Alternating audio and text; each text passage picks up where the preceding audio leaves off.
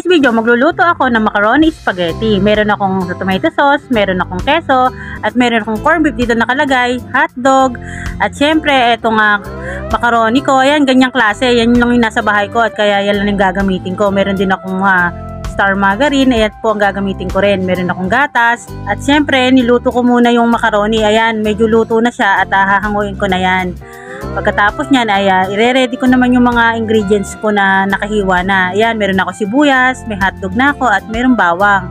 At magsisimula na ako magpainit ng mantika. Nilagyan ko nga pala ng konting mantika yan para hindi naman masunog agad yung uh, margarine. Uh, ang margarine nilagay ko kasi wala naman akong butter. Pwede na yan. At nilagay ko na nga yung corned beef. Pagkatapos niyan ay hinalo-halo ko na yung corned beef. Sinunod ko na yan yung tomato sauce. Pagkalagay ko nga ng tomato sauce ay uh, hinalo-halo ko siya muna at nilagyan ko nga pala ng paminta at pagkatapos ng pagkalagay ko ng paminta ay sinunod ko naman yung hotdog.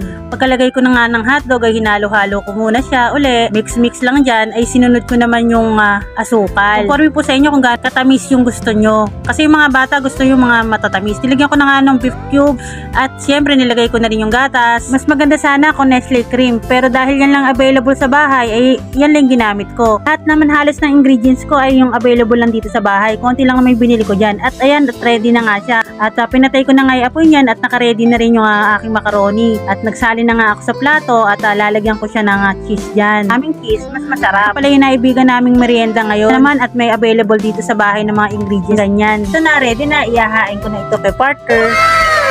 Sigurado ay ganado na naman ang partner ko nito. Ayan, at mix, mix na nga niya yung uh, noodles. Sigurado, speechless na naman siya pagkakain nito. Kaya nga ba sirang-sira talaga ang diet nito eh.